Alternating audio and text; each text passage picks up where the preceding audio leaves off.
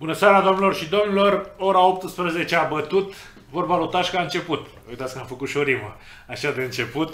Uh, sunteți la vorba lui Tașca, după cum v-ați dat seama, și astăzi încercăm să facem o analiză mai detaliată la aproape o săptămână de la momentul cel mai important al anului, să zic așa, și anume alegerile parlamentare. Se spune că alegerile parlamentare sunt cele mai importante alegeri ale unei națiuni. Nici alegerile locale, când alegem primarie și consiliile locale, nu ar fi atât de importante cum sunt alegerile parlamentare. Dar despre asta și despre rezultate și multe alte lucruri interesante vom discuta astăzi aici la emisiune cu invitatul meu deja cunoscut pentru dumneavoastră, cred, sociologul Valentin Fulger. Bună seara, domnule profesor! Bună seara, domnule Tașcă, bună seara telespectatorilor noștri. E adevărat, cum am început, alegerile parlamentare sunt mai importante decât alegerile locale? Domnule Tașcă, uh, acum depinde din uh, ce punct de vedere uh, privim acest uh, lucru. Personal, acum câteva luni de zile am uh, exprimat un punct de vedere pe care îl susțin în continuare și anume uh, la locale uh, electorii uh, dau un vot uh, utilitarist, uh, iar la generale este un vot pur politic. Absolut, ambele tipuri de alegeri sunt importante, doar că ați văzut întotdeauna la alegerile locale se pare că prezența este mai mare, excluzând pandemia de această dată. Luând istoria alegerilor, da, da. la alegerile locale oamenii se prezintă într-un număr mult mai mare. Deci suscită un mai mare interes pe de o parte, iar pe de altă parte sunt mai multe forțe uh, implicate aici și nu mă refer doar la forțele politice, ci mă refer la forțele din interiorul partidelor care sunt multiplicate într-un număr mult mai mare decât la locale, unde nu mai sunt sau nu mai rămân în cărți decât cei care își doresc să ajungă uh, parlamentari. Prin urmare, e categoric că partidele, uh, deși ar trebui să meargă cu toate motoarele turate, mai uh, scad din această turație și se pare că unii știu de ce fac acest lucru. Da, unii știu, o să discutăm mai pe larg ce surpriză au produs aceste alegeri. Aș spune vis-a-vis de comentariul noastră că mai eu e mai aproape decât Sacou, adică Primarul e mai aproape decât senatorul sau deputatul. Domnule Tașcă, un locuitor, indiferent al cărei localități din țară, intră în contact cu primarul, cu viceprimarul, cu consilierii într-o măsură mult mai ușoară și mult mai frecventă decât cu un parlamentar, fie că este el senator sau deputat. Ca să nu mai spun vreun președinte de partid care este deputat sau senator, la care se ajunge deja mult mai greu ca să nu mai spun inclusiv uh, ministru, care deține simultan și funcția de senator sau de deputat. Prin urmare, oamenii categoric și-au uh, recalibrat uh, tirul și au devenit uh, și ei utilitariști. Blocul, în cazul în care trebuia învelopat o asociație de proprietari care trebuie să fie înființat, canalul care defulează, o stradă care trebuie să fie asfaltată. Iată. Centura care mai pușcă câteodată. Exact. Deci toate astea țin de primar, țin de Consiliul Local, țin de primărie, în sine de administrația locală, pe plan local vorbesc municipal sau orăș orășene sau de administrația județeană. Deci, uh, până la urmă, uh, parlamentarii, uh, chiar dacă există, pentru foarte mulți dintre noi reprezintă noțiuni caracter abstract. Un parlamentar, un senator sau un deputat, adică lucruri care pentru mulți dintre noi sunt intangibile. Deși prin prisma meserii, adică făcutul de legi, ar trebui să fim mai cu lupa mai aproape de, de ei, nu? Acum, dacă m-aș fi așteptat să mă întrebați în primul și în primul rând, dar văd că mă menajați, dacă m-am, da, prezentat, la, ușor, dacă m-am prezentat la vot. Păi așa, așa, vreau să ajungem la rezultate și atunci să discutăm, nu, că, să... să discutăm și despre cea mai mică prezență din ultimii 31 de ani. Uh, vă mirați? Uh, nu mă mir, nu mă mir pentru că a fost o campanie slabă, au fost niște programe electorale, aș spune, n-aș vrea să folosesc un cuvânt dur, prostești Cred că e un cuvânt, uh, uh, un cuvânt uh, ușor față de ceea ce aș vrea să transmit. Adică a fost, ce să vă spun, a fost o nenorocire de campanie. Aș vrea să vă spun că din punctul meu de vedere, această campanie pe care dumneavoastră o catalogați ca fiind slavă, putea să fie și foarte bună. Putea, dar, dar n-a fost. Nu, nu. Și în cazul în care ar fi fost foarte bună, adică ar fi fost implicate forțe cu adevărat profesioniste în uh, gândirea, în conceperea ei, în elaborarea mesajelor, în transmiterea către public, nu cred că ar fi ieșit uh, mai multă lume afară din case. Argumentele pe care le pot aduce aici... Vă rog, și acum să ne spuneți dacă ați fost sau nu la vot. Nu, nu am fost uh, la vot. uh, Deci sunteți în cei Înainte- 69%, Hai să 68 și ceva care nu s-au dus. 70. 70, Ce să totuși. mai încoace și Da. încolo. Uh, Domnule Tașca, uh, vedeți dumneavoastră, istoria noastră electorală post-decembristă ne arată că prezența la vot, chiar și în cazul în care este uh, ridicată, nu contează. Da, eu aș zice să lăsăm această, această paranteză pentru punctul 3, pe care îl vom diseca mai, mai în Sigur amănunt. că da, dar uh, noi putem să facem uh, reveniri, putem Sigur, să facem da. legături și legături între... Nu, dar acolo legături putem discuta pentru- mai aplicat, să zic așa, ca astfel încât telespectatorii noștri să înțeleagă exact ce vrem să răspund. Și în cazul unei campanii foarte bune, am spus, nu ar fi ieșit mai multă lume la uh, vot și am să vă explic de ce. Vă rog. Pentru că aceste forțe politice sunt pur și simplu secătuite. Și o să-mi dați argument sau contraargument, domne, dar uite, aurul, nu? Care a apărut uh, oarecum uh, spontan, să-i spunem noi așa, emergent, apare dintr-o dată și se înființează cu un 10% nesperat, nici măcar chiar de... Surpriza acestor alegeri, pe lângă participarea slabă. Da, am înțeles că au utilizat un anumit soft pe care l-ar fi utilizat inclusiv Donald Trump în alegerile din America, adică au identificat indivizi care au cam aceleași Adică pe sistemul Cambridge Analytica. vreți să spuneți. preocupări cu ei pe internet, deci au un uh, stil de lucru asemănător cu USR-ul, cu USR+, adică sunt tot partid de online, partid de nișă.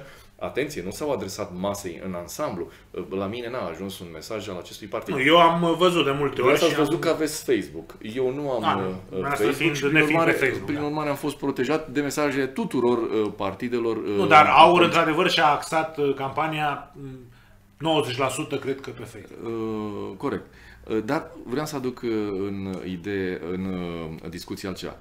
Ce mesaje noi ar mai fi putut să aducă forțe care activează deja de uh, mai bine de un sfert de secol în România și care, Spuneți 30 de ani. de fiecare dată, mi-a plăcut titulatul ăla, sau un sfert de secol, parcă sună mai bine decât 30 de ani, are o altă conotație, o altă semnificație.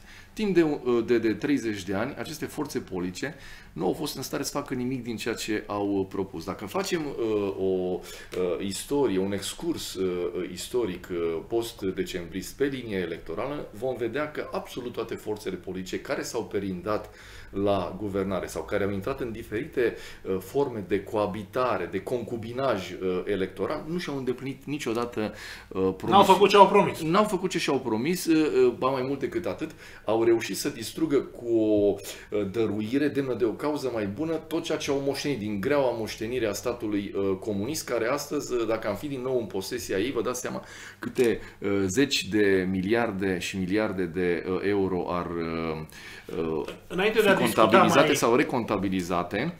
Și odată poate că ar trebui să deschidem un subiect cu privire la uh, retrocedările care au avut loc în România comparativ cu retrocedările din alte state foste comuniste bunăoară uh, Ungaria, care a spus până la 80.000 de euro într-o perioadă de atâția ani.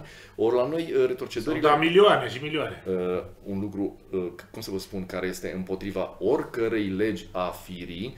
Uh, pot să se supere pe mine uh, toți uh, liberalii și toți uh, democrații uh, care au uh, uh, origini sau uh, care au idei sau supraideologii uh, de natură uh, capitaliste. Eu nu sunt nici marxist, nu sunt nici liberal capitalist, dar sunt un om de bun simț care spune că nu poți să retrocedezi uh, și de acum încolo încă 50 de ani dacă se mai trezește unul că uh, de fapt uh, un stră străbunic uh, de al lui ar fi avut nu știu ce păduri prin uh, retezate. Deci trăim uh, rău pentru că forțele politice nu s-au interesat absolut deloc de țară. Sunt secătuite.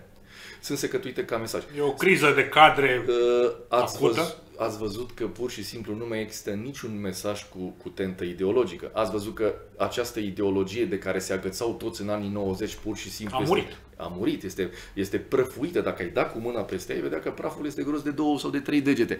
Pur și simplu oamenii ăștia își spun social-democrați sau își spun uh, liberali sau își spun uh, uh, nu știu, țărăniși, că am înțeles că mai există fantoma asta care din Mai când în există, când dar se e chiar o reîncarnează, fantomă. capătă. Da, băi, fantoma asta se reîncarnează din când în când, iară În sucubă. momentele electorale, doamne. Da.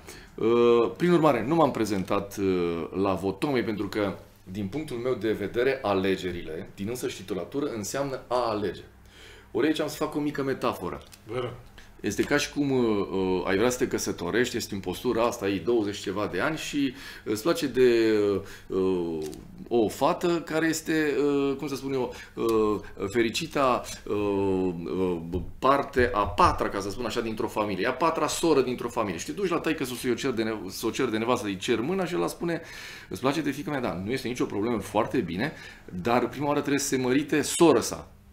Păi să se mărite. Nu, nu, nu. Trebuie să o iei pe asta. Pe prima. Astea sunt alegerile la noi. Adică eu îl vreau pe omul numărul 4 de pe listă, că Da, ăla da, îmi da. place și vreau să-l aleg. Nu. Partidele îmi bagă cu forța pe gât pe primul. Păi a, a, de aia se numesc alegeri. Ăștia sunt, ar, ar trebui să se numească impuneri. Ar trebui să se numească impuneri. Și aici ar trebui să discutăm despre perversitatea acestui sistem de vot, care în permanență împune pe primul loc indivizii cei mai veroși uh, din, uh, Da. din cadrul Cei partidului. mai uh, politici, să zicem. Încărcătură, cea mai, cu cea mai mare încărcătură acești, politică. acești oameni, dacă ar dovedi că uh, au uh, nu bun simț, nu patriotism, ci curaj, ar spune așa, reinventăm sistemul de vot. Uh, vă dăm lista și Pui puteți- ștampila pe persoană. Puneți ștampila pe care îl vreți dumneavoastră. Nu contează că sunt primul sau că sunt al șaselea, dacă suntem șase pe listă. Și atunci aș vrea să vă văd în ce măsură mai ieșiți voi cei care sunteți primii pe listă parlamentari. Garantat 100% că 90% dintre voi nu mai ieșiți. Deci această idee că este parlamentar la al treilea sau la al patrulea mandat. Păi te întreb, domnule, de câte ori ai fost pe locul 3 pe listă? Nu, de fiecare dată ai fost pe primul loc. Păi, Asta nu se numește... titularii, domnule profesor. Aceste lucruri nu se numesc alegeri, se numesc impuneri, este o șarlatanie electorală și cu, după cum șarlatanie electorală este redistribuirea. Gândiți-vă ce se întâmplă în acest moment, ce s-a Vom întâmplat, vorbi pe larg, v-am promis și ce nu, s-a nu uit. întâmplat în aceste zile, în această țară. Ne arată ce s-a întâmplat timp de 30 de ani, o șarlatanie de la cap la coadă în care politicul și niște statisticieni, eu cred că un pic cam beți, au făcut un Eu aș algoritm zice chiar nebun dacă poți să sau zic. poate chiar nebuni, sau poate le îmbină pe toate, au, ne-au demonstrat științific că de fapt 20 este mai mare decât 40.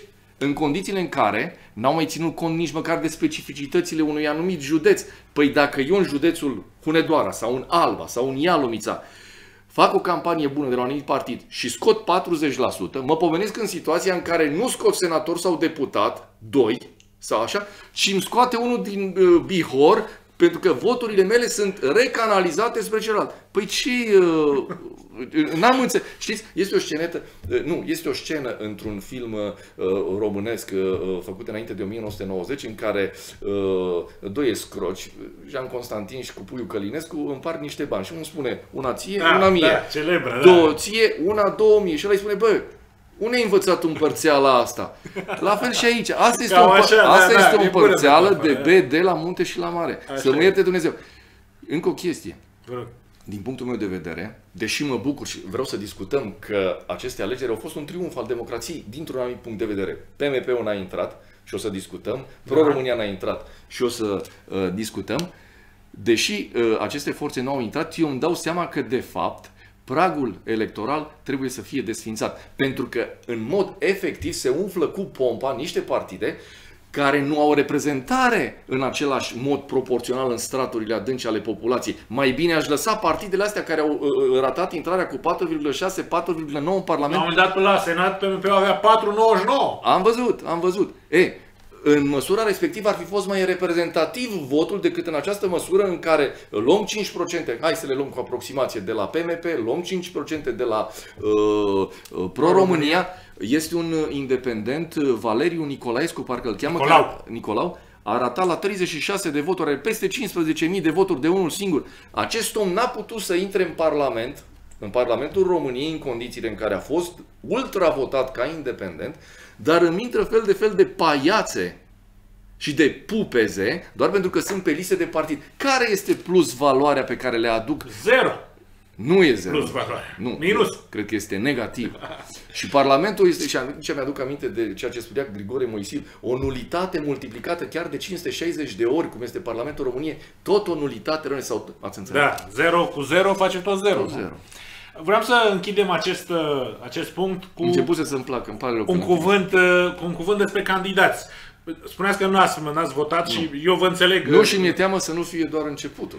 Și, și eu cred că dacă nu, nu vor învăța nimic politicieni și eu, într-un text pe care l-am scris, am spus că nu vor învăța absolut nimic din ceea ce s-a întâmplat, în 2024 vor mai merge 10% să voteze și va fi o democrație extraordinară. Suntem într-o profundă criză de legitimitate. Oamenii ăștia sunt profund ilegitimi. Am făcut un calcul.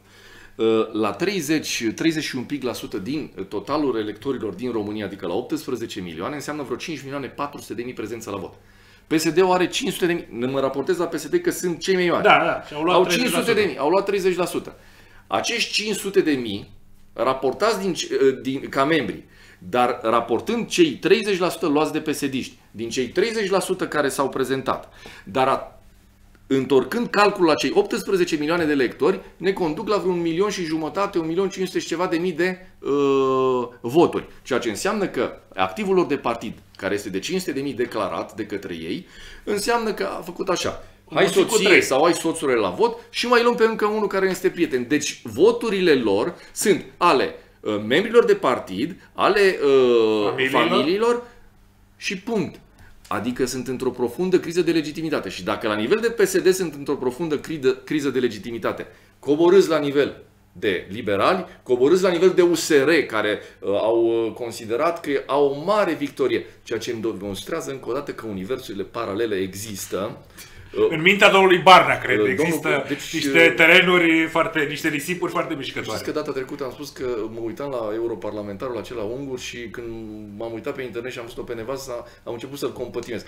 Eu acum de câte ori îl văd pe domnul Barna că apare la televizor, deja îl compătimesc pentru că îmi dau seama că de fiecare dată când scoate pe gură câte ceva, uh, în mod categoric acel ceva se va întoarce împotriva dânsului. Am văzut astăzi înainte de a veni în emisiune că deja a ieșit o filmare în care dânsul împreună cu încă unul cam râși și își bat joc de membrii lor de partid făcându-i cam tâmpiți. Dar în fine, asta este dacă... Da, așa, așa e la USR, acolo e, Bravo. e permis. Uh, Un cuvânt despre candidați. Cum vi s-au părut candidații care s-au prezentat? Pentru că aici a fost marea problemă a multora din cei 70%. Pentru că te uiți pe listă și vezi X, Y, Z și te uiți, nu-ți vine să crezi, domnule, ce să, cum să votez eu pe ăștia? Adică, eu mă, v-aș putea răspunde printr-o poezie. V-aș dar, putea dar spune- că aveți când ești valențe enigma- poete- poetici. Păi nu, dar ideea este următoarea. Până acum am explicat că oamenii ăștia sunt secătuiți. Până acum v-am explicat că eu vreau o alegere, nu impunere. N-am avut pe cine să votez. Nu, mă refeream la uh, candidați ca și calitate domnule, umană. să că- mai- eu mai sunt adeptul unei idei. Domnule, ai votat, ai, ai fost o dată senator. Te-ai fript odată? Nu mai o secundă, Ah, ai fost o dată am senator. crezut că ce-ți vota. Sau primar. Ai fost și a doua oară senator și primar. Stop. Dacă era să-mi demonstrezi ce ai făcut într-un mandat sau două, puteai să-mi demonstrezi. Ca să-mi demonstrezi de a patra oară sau a cincea oară neputința care te caracterizează, înseamnă că trebuie să fiu absolut desprins de realitate și să rebranduiesc uh, formula lui Einstein, adică uh, nebunia înseamnă uh, a utiliza de fiecare dată aceleași mijloace, în cazul de față aceiași oameni și a spera Și la să rezultate aștept diferite. rezultate diferite. Păi dacă n-ați crescut salariile, că salariile nu sunt crescute chiar așa. Ați crescut la doctor salariile, salariul unui doctor este 6-7 ori mai mare decât al meu. Și citesc astăzi știri când un doctor, o doctoriță îi bate pe unii în cabinet, îi Nu sequestrează. dau bani suficient. Asta este una. Și da, asta rămâne la cocktail. Trecem la punctul 2, domnule profesor.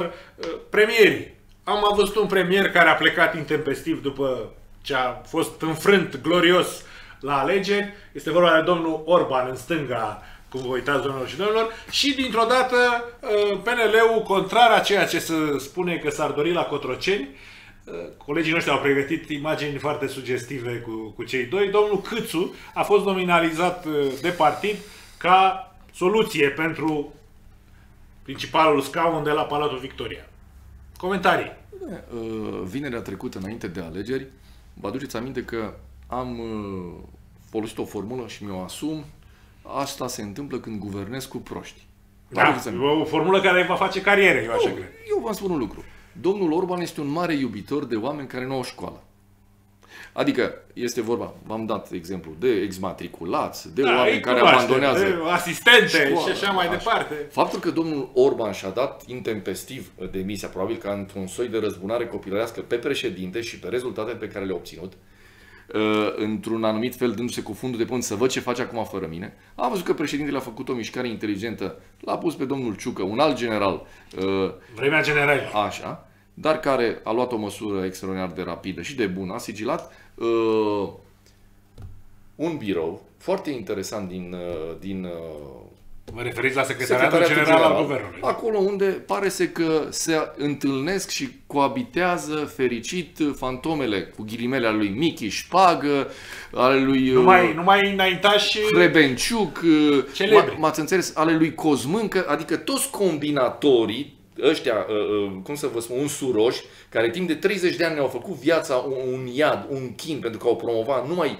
uh, uh, promiscuitatea, uh, s-au regăsit în acest domn, am înțeles, Antonel, care Antonel e și un nume predestinat, să știți. da, uh, care am înțeles că a împănat, ca și un pepene care este, cum se spune, plin de sâmburi, a împănat absolut toate uh, ministerele, toate deconcentratele, numai cu pile, cu piluțe, cu protejați, cu... uh, Și aici, uh, și vă aduceți aminte discuția noastră, mi-am adus aminte de canapeaua lui Crin, uh, celebra canapea lui Crin, care uh, era Care a văzut multe. o trambulină pe calea uh, promovării politice în interiorul acestui partid, care încă, atenție, mai defilează sub denumirea de Și să PNL. știți că utilizatoarea canapelei, utilizatoarea de facto, să Stați zic un pic. așa, Una, una dintre utilizatoare, cea mai cunoscută dintre ele, era tot secretar general al guvernului, la un anumit moment. domnul uh, Tașcă, uh, o altă utilizatoare, dar mai pe șest, așa, este una care a mai divorțat din ei pe acolo, din conducerea lor și care a reușit în sfârșit pe unul să-l păcălească ca să o iei de soție. Dar uh, pe care Știți că domnul Câțu are școală, are N-am școală fost- inclusiv în America. N-am spus chestia asta, dar domnul Câțu, uh, în momentul în care i s-a mai oferit odată acest post, a făcut un pas în spate Atunci domnul Orban era puternic. să știți. Da. Uh, uh, Domnule, uh, eu cred că oamenii puternici dovedesc că sunt puternici în situații de criză. În momentul în care sunt puternici și toată lumea recunoaște că sunt puternic, nimeni opunându-mi se, nu cred că sunt așa de puternic. Îi dați uh, viață lungă lui Ludovic Orban, era să zic Victor Orban, uh, la PNL, la șefia PNL, pentru că sunt uh, voci care spun că e următorul pas. Eu v-am spus că PNL-ul nu este nimic altceva decât un PSD mai mic. PSD-ul Care și-a devorat toți își liderii. devorează și îi rupe pe toți. Eu nu cred că uh, uh, uh, acest PNL care trăiește uh, în umbra uh, PSD-ului și trăiește oarecum frustrat că nu poate să fie ca PSD-ul, Și la alegeri, tot în umbra PSD-ului din, a punct, rămas. din punctul meu de vedere, uh, acum uh, uh, mai intră în, în joc uh, niște calcule care sunt uh, foarte oneroase. Aduceți-vă aminte că PSD-ul a susținut uh, la uh, guvernare, când Joana era uh, președinte al PSD-ului, pe un Tăricianu care practic uh, guverna în minoritate, avea un partid Da, minuscul. patru ani a guvernat. E, să nu ne pomenim că uh, asistăm uh, sau că vom asista în curând la o iubire din asta uh, așa uh, foarte uh, interesantă și pe la colțuri între PSD și PNL în condițiile în care iubirea lor a fost, uh, cum să spun eu, publică sub forma USL-ului, adică unul, uh, da. am și scris un articol atunci, Amor Ghebos, dacă vă aduceți uh, aminte, iar acest uh, amor ghebos dintre PSD și PNL, uh, să știți că are încă, uh, cum să spun eu, vii amintiri în, în mintea Nu, nu e multora atât de departe. și a lor, dar și a noastră, a celor care, uh, din momentul în care am văzut această sudură și acest anus contra naturii, ne-am dat seama că oamenii ăștia nu dau doi bani pe ideologii, nu dau doi bani pe idealuri, ci pun toți banii uh, pe cărțile lor, adică pe viitorul lor, Sigur, uh, pe personal, funcțiile pe lor. funcțiile lor. Noi nu contăm. Absolut. De asta, uh, și vreau să vă spun un lucru, am văzut o jelanie colectivă sau individuală pe la diferite televiziuni, uh, aproape o ceartă, de ce n-am ieșit la vot noi ăștia 70%. Aș vrea să vă spun că în sociologie, în sociologia acționistă se spune așa, în momentul în care decizi să nu acționezi, de fapt eu am acționat, Exact. într-un anumit fel. Pe, nu știu dacă ați văzut cearta, dar eu vreau să vă spun că pe mine m-a uimit faptul că inclusiv din noaptea alegerilor s-a discutat extrem de puțin, cred că la nivel de vorbe, de câteva vorbe, despre uh, procentul acesta de participare foarte mic. Stați un pic să vă păi, dar nu-s nebuni, pentru că ar fi... Păi uh, bun, dar asta e tema, Păi, asta nu, era nu, principala stați- chestie, pe nu, lângă nu, ascensiunea Ar aur. fi nebun să scoată în evidență în permanență acest lucru. Pentru că nu vor să învețe nimic, domnule Nu, profesor. nu, nu, nu. Pentru că nu vor să-și pericliteze pozițiile, pentru că într-un astfel de, într-o astfel de situație. Nu dacă știți de ce au redus uh, pragul de uh, prezentare la vot la referendumuri. Ca să nu se schimbe nicio... Nu, domne ca să ei și-au luat niște măsuri de prevedere. Domne, dacă și la referendum tot 30% trebuie să vă prezentați ca să validăm niște hotărâri pentru țară, cum nu este valabil, cum nu este valid și reprezentativ da, un parlament putem ales... să punem și 20, putem să punem și 10. Este nu? tot o chestie șmecherească, făcută uh, uh, cum să spun eu, pe o bătaie de palmă colectivă, niciunul nu spune că nu e adevărat.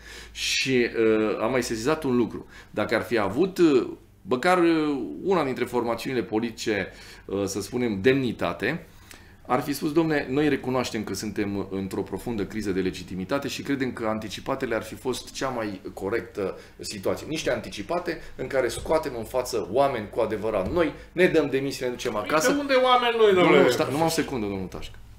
Uh, între sociologie și sociobiologie este o legătură foarte mare. Și am să vă spun de ce. Pentru că în sociologie, adică în societatea umană, nu facem decât să reinventăm, să retrăim lucruri care în societatea animală sunt inventate de milioane sau poate miliarde de uh, ani. Când îi văd cum dau uh, în, în profundă criză de legitimitate târcol ministerelor, parlamentelor, nu-i pot asemui cu niște tigri sau cu niște uh, lei care pleacă la vânătoare, ca să spun, doamne, și niște prădători uh, politici. Nu, sunt hoitari, sunt necrofagi. Nu s-ar lăsa duși absolut deloc. Hienele, aș spune. Hienele. Pur și simplu acești oameni nu înțeleg că nu-i mai vrea nimeni. Sunt vot, s-au votat între ei. Fiecare partid este votat de membrii de partid și familiile, și familiile lor. Noi, societatea, noi, societatea, 70% care am stat acasă, nu i-am vrut. Pentru numele Dumnezeu. Un mesaj mai puternic decât acesta, mai clar, mai concis, nu cred că poate să fie dat. Președintele, de fapt, a sesizat un lucru și a spus cred că sunteți de mulțumiți de mine și de clasa politică în ansamblu. Foarte bine, domnul Iohannis. Și a mai atunci, concluzionat și că a vorbit ca, ca mult atunci, în campanie? Da, și împotriva PSD. Dar nu înainte de a spune OSCE-ul treaba asta, că altfel n-ar fi zis o vorbă. Uh, a încercat să facă și a făcut campanie PNL-ului. A și făcut, nu i-a ieșit. Și odată că nu i-a ieșit și doi, n-are cui să-i facă campanie. Bun, închidem uh, punctul aici ca să trecem la un alt uh, punct și aș spune un cuvânt care definește ceea ce s-a oferit uh, de către partidul uh, căruia președintele Iohannis în viziunea noastră nu poate să-i facă campanie pentru că nu are cui, și anume PNL Hunedoara, doamnelor și domnilor. Și am, uh, văzând uh, ce s-a întâmplat și o să discutăm uh, la acest punct cât putem de in extenso, aș spune că suntem într-o gerontocrație la PNL Hunedoara. Am ajuns, doamnelor și domnilor, ca în Hunedoara, un partid care a fost hulit multă vreme că are candidați bătrâni și că e votat de bătrâni, să aibă candidați mai tineri decât domnii de la PNL. Eu cred că cineva ar trebui să se trezească la realitate. Nu cred că se va întâmpla asta, dar uh, spunem și noi aici, pentru că vorba lui Tașcă nu e doar o vorbă, nu? Așa cum, cum ne place nouă să spunem. Am denumit acest punct, domnilor și domnilor, Lucica, senatoarea surpriză și poate vă dați seama la cine mă refer. Doamna Lucica Muntean, proaspăt aleasă viceprimar al Petroșanului, i-au surât sastrele, colegii mei o și pun pe, pe ecran să o vedeți bine de tot, să știți pe cine n-ați votat, dar a ajuns în Senatul României a reușit într-un joc al uh, conjuncturii, de care vorbea domnul profesor la începutul uh, emisiunii, prin această redistribuire care nu știe nimeni cum se face, dar dă rateuri uh, Ba da, dar nu știm cum se face. Se face șmecheresc. Aduce, aduceți-vă, aminte, aduceți-vă aminte că uh, se, uh, se aduc voturile cu, cu basculanta dintr-o altă zonă. Cu autobuzul mai nou. Domnule, este imposibil așa ceva. Dacă nu te-am votat, N-ai ce căuta aici la mine. Deci, cum să... Deci sunt partide care nu sunt votate în alte județe, se aduc voturile cu basculanta și se pomenesc că ea de acolo cu, candida, cu, cu reprezentanți în Parlament pe care ei nu i-au votat. Nici măcar doamna Muntean, nici măcar Tiberiu Acobriții, marele sprijinitor politic al doamnei Muntean, nu cred că au visat nu. Uh, vreodată că doamna uh, Muntean va fi senator. Eu am o teorie. Vă rog. Uh, poate să fie bună, poate să fie greșită, dar eu cred că este bună. Uh, Uh, tinerii de care spuneți dumneavoastră n-au vrut să se pună pe listele astea de partid la, la liberal. Am avut un tânăr. Un, chiar. stați un pic. Cred că a făcut-o din, uh, cum să spun eu, uh, dorința de a fi odată pe cartea lui de vizită fost candidat la Parlamentul României, în altă ordine de idei a crezut că îi face bine experiența asta, în fi. Mă, da, nu, mai, nu, nu analizăm pe respectivul că... Nu, nu, nu. E vorba de un caracter general al Știu, situației. știu, glumeam. Uh, Eu cred că unii n-au vrut să se compromită, pentru că ei știau sondajele și spuneau, domnule, trebuie să punem totuși niște candidați. Nici în visele... Dacă ei ar fi crezut și ar fi sperat că ar uh, putea să iasă senatori, vă garantez că pe locul ăsta ar fi fost domnul Heiuș. cred că domnul Heiuș. Să Sau știți că domnul Heiuș, și am o surpriză pentru dumneavoastră, e vehiculat uh, succesorul domnului Câțu uh, la Ministerul de Finanțe. Nu cred. Nu cred și vă spun de ce. Mă rog, e, vorbesc sursele, vă dați seama. Cred că, nu cred în Și eu bănuiesc că n-are nu atâta cred în această susținere politică. posibilitate pentru că fiind uh, sau nefiind în, în zona parlamentară, nu mai este toată ziua cu ei acolo. Dânsul este obligat acum să stea mai mult pe aici.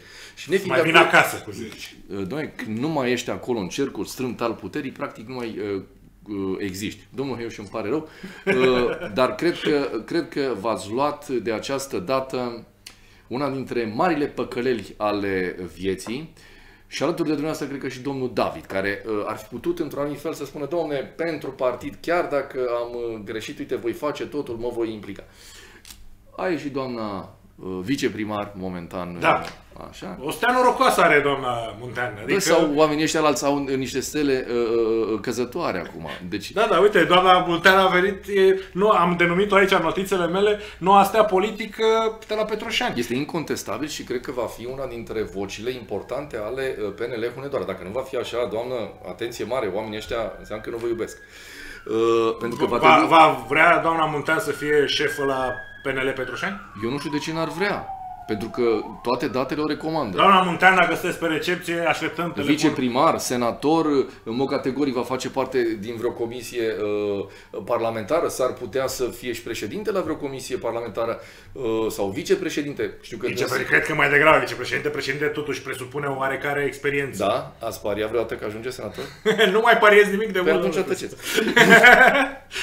Spuneți-mi dacă vi se pare că acest uh, termen pe care l-am folosit, gerontocrație, e pertinent pentru PNL Hunedoara. Ceea ce... Genocrația nu are nimic uh, Nu e nimic peiorativ, Este vorba absolut. despre puterea deținută de cei vârstnici.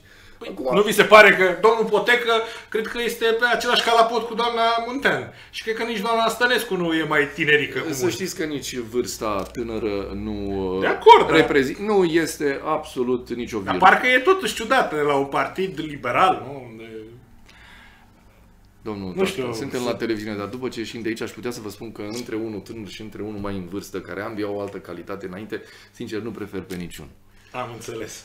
Închidem acest subiect? Nu, putem să-l lăsăm deschis și să ne reîntoarcem la el. Nu este asta o, o problemă, Nu, dar, este ne asta. place să le închidem ca să nu Uh, rămânem doamna, cu restanțe. Doamna uh, Muntean este un bun exemplu de cum poți să ajungi peste noapte uh, ce stea, galaxie.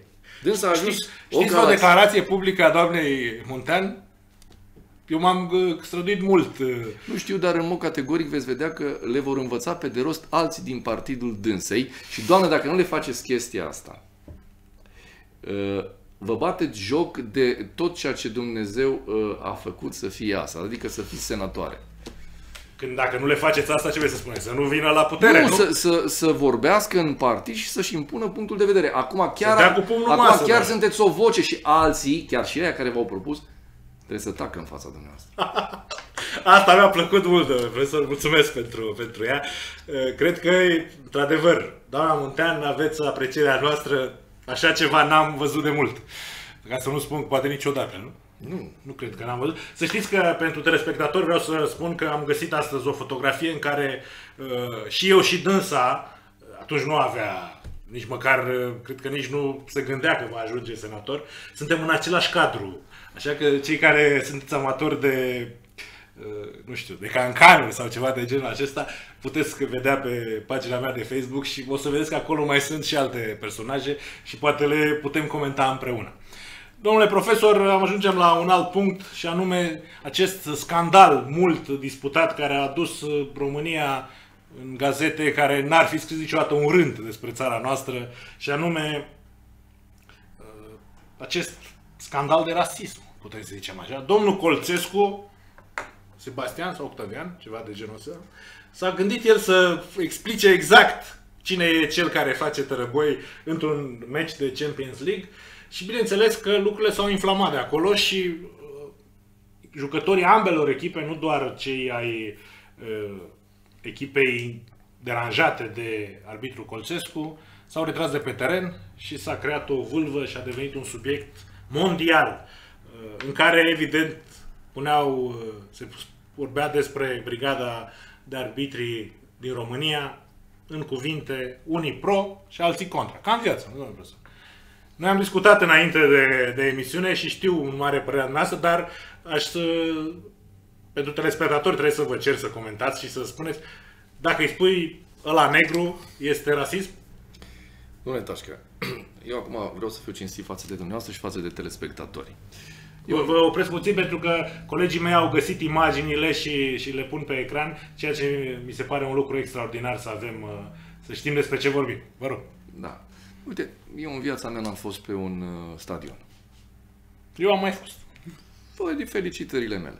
N-am fost pe un stadion pentru că de multă vreme mi-am dat seama că acest fenomen sportiv nu are nimic sportiv în el. Totul este pur financiar, pur pecuniar. Marketing. Și dacă nu mă credeți pe mine, cred că o să credeți un medic uh, epidemiolog spaniol, o femeie, o doamnă, care în momentul în care a fost întrebată de presă cât credeți că mai durează până când o să obținem un vaccin împotriva COVID-ului, Doamna a spus, nu mă întrebați pe mine, întrebați-l pe Ronaldo, că el este plătit cu 200 de milioane de euro pe sezon, eu sunt plătită numai cu 4.000 de euro pe lună.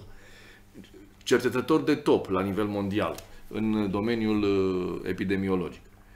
Acum, neinteresându-mă fenomenul, uh, niciodată nu m-a interesat și nu mă va interesa nici de acum încolo și uh, conștientizând că el nu are nimic sportiv în el, aș vrea să vă spun că aceste imagini iarăși nu au nimic rasist în ele.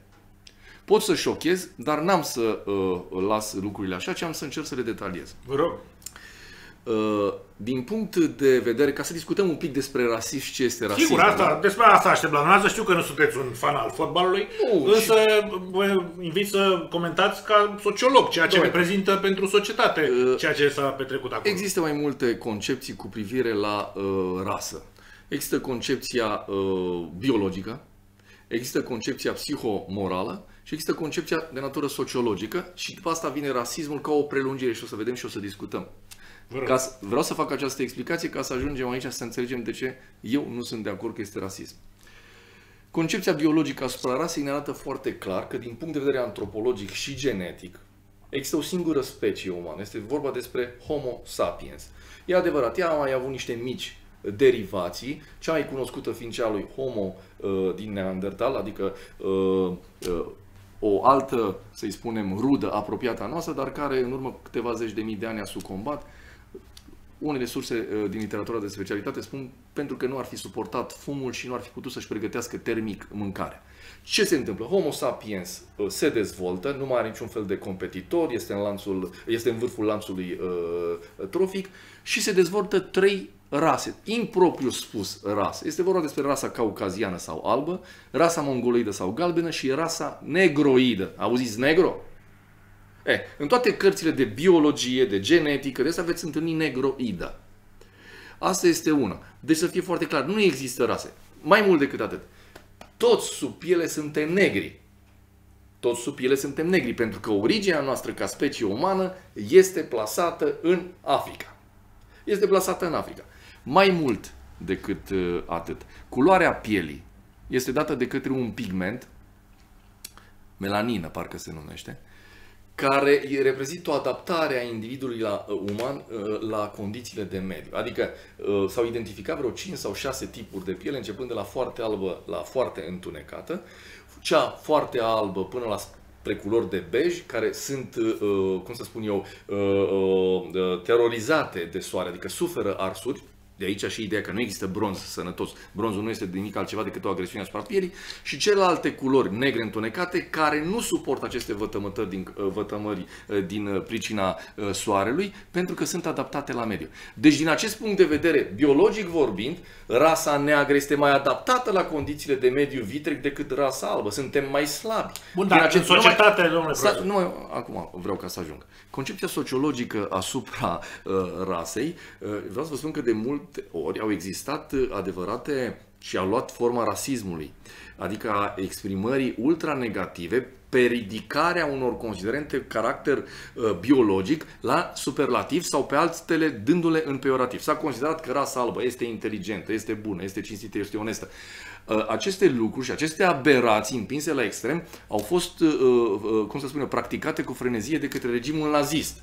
Da. Așa, Acolo care, mă gândeam și eu. care, care promovăduia în permanență uh, ideea de om arian, adică tipul înalt, peste 1,80 m, blond, ochi albaștri, etc., etc., și în, acest, uh, în această secvență de gândire ei inventează fermele naziste, ferme umane, în care anumite uh, uh, femei erau, repro- erau reduse la stadiu de femele reproducătoare, soldați SS, de fapt ofițeri SS, treceau pe acolo, se nășteau copii pe bandă rulantă, atenție ce minți aveau acești oameni care sunt albi, uh, și care uh, nu-și cunoșteau niciodată nici mama, nici tatăl. După ce uh, femeia respectivă năștea, copilul era preluat, uh, iar ea era trimisă înapoi în fermă la... Bun, uh, haideți să revenim totuși nu, la nu, cazul stați nostru. un pic să vă explic. Nu, dar- Asta este, o form, asta este rasismul în momentul în care fac ceea ce se numește eugenie socială, adică selecția uh, rasei în funcție de considerente presupuși științifice.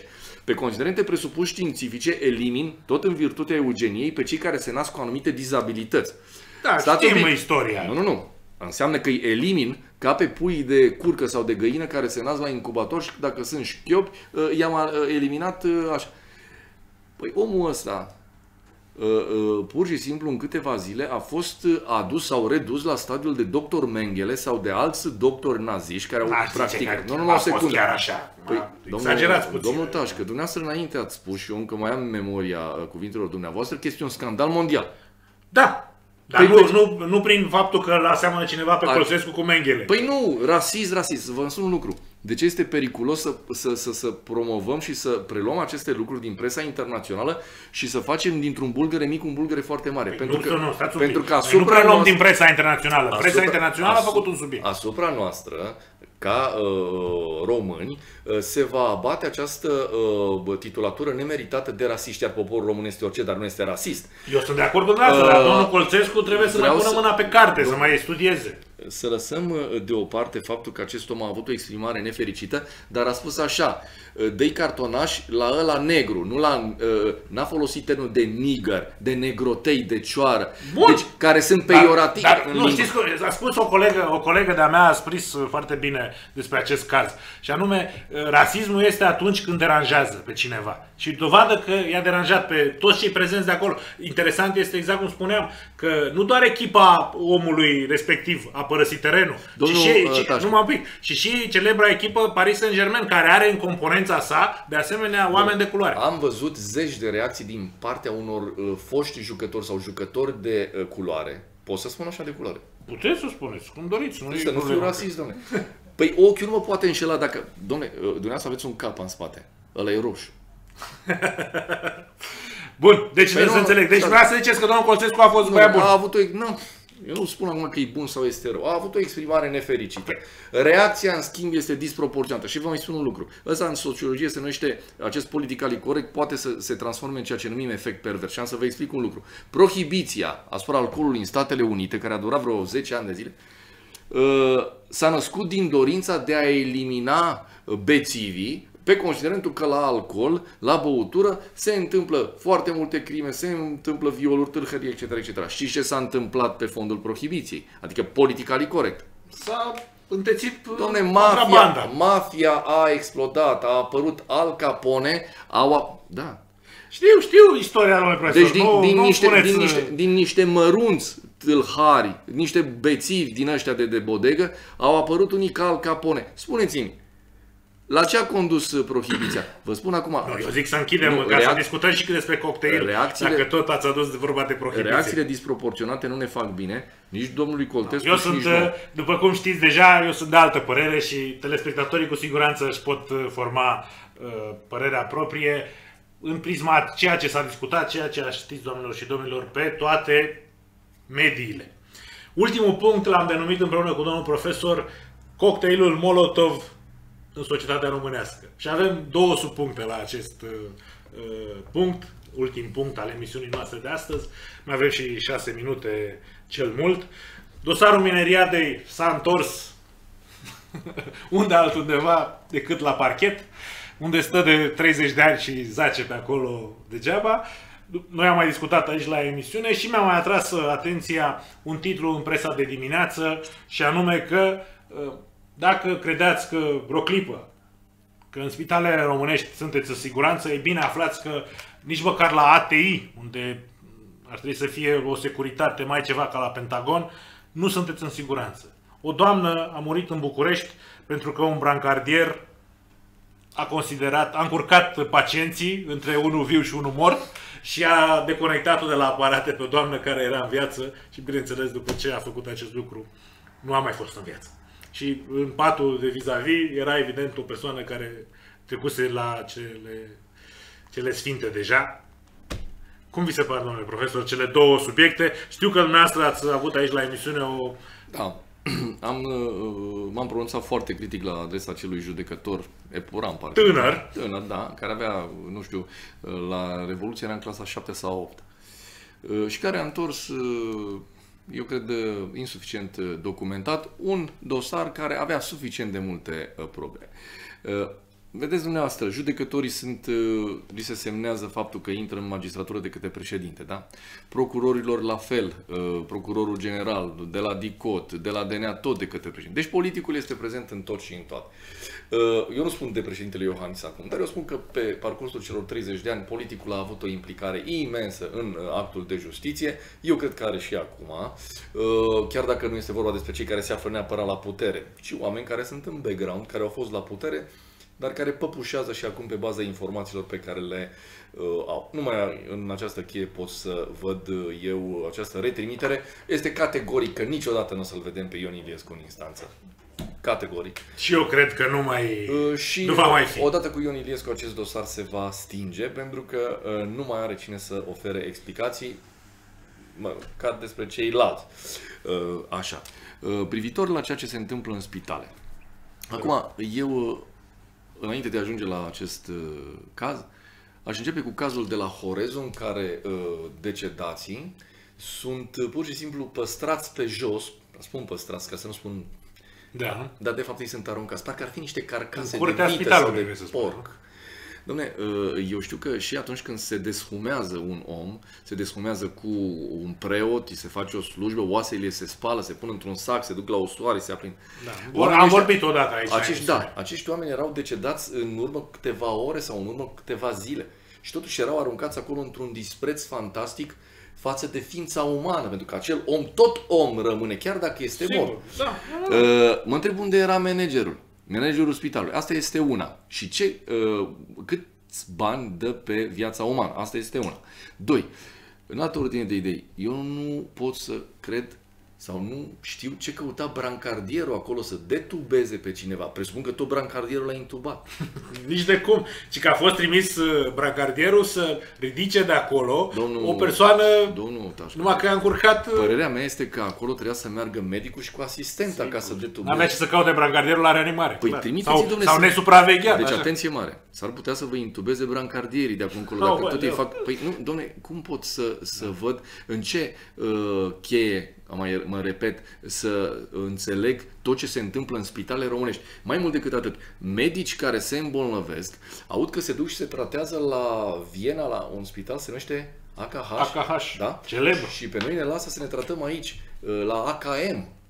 Că spitalele românești nu reprezintă nimic altceva decât o rafală de AKM, ne retează. Aici e menghele, ne, ne, ne seceră. Oamenii ăștia sunt plătiți dumnezeiesc de bine, împărătește au salarii mai mari de 6-7 ori decât am eu, de exemplu. Și o să-mi spună, dar ce faci tu? Uite ce facem noi. Văd, pacienții iau foc pe mesele de spital la operație. Sunt uh, detubați, uh, deși sunt vii și mor de către uh, brancardieri. Sunt aruncați oamenii în, în, într-un dispreț total. Câte și mai câte. Ca și carcasele de porc. Pe... Și cu toate astea, sunt medici care iau în această țară 4.000-5.000 de euro pe lună. Măcar, și mai mult. Măcar acea de curiozitate, acel uh, manager nu putea să treacă să vadă ce se întâmplă la morga spitalului. Măcar așa de curiozitate, medicul ăsta, totuși când detubezi pe cineva, se presupune că la nu mai are semne vitale. Reprezintă un moment important în viața ăstuia, că îl trimiți la... M-ați înțeles? Totuși îl detubă, înseamnă că la nu mai are. Trimit un brancardier. Câte studii are un brancardier? Câte clase are? Mi-e frică să mă gândesc, să știți. Mi-e chiar mi-e frică să mă gândesc câte studii și cât, cum poți să distrugă viața un astfel de om. Da. Din păcate, domnule profesor, timpul nu e în favoarea noastră aici la emisiune și în general cred că nu e, mai ales în spitalele românești. Sper că vom păstra această titulatură de cocktail Molotov în societatea românească și în emisiunile viitoare. Doamnelor și domnilor, nu scăpați de noi încă în acest an. Ne mai vedem și vinerea viitoare, după care vom intra într-o bine meritată vacanță. Mulțumesc foarte mult, domnule profesor. vă mulțumesc, la revedere. Doamnelor și domnilor, sper că am reușit să vă ținem în fața ecranului cu subiectele pe care le-am abordat. Cu siguranță, sau sper, că săptămâna viitoare vom uh, avea subiecte mai relaxate, fiind, cum spuneam, ultima emisiune din acest an. Vă mulțumesc foarte mult pentru atenție și vă doresc o seară frumoasă în continuare.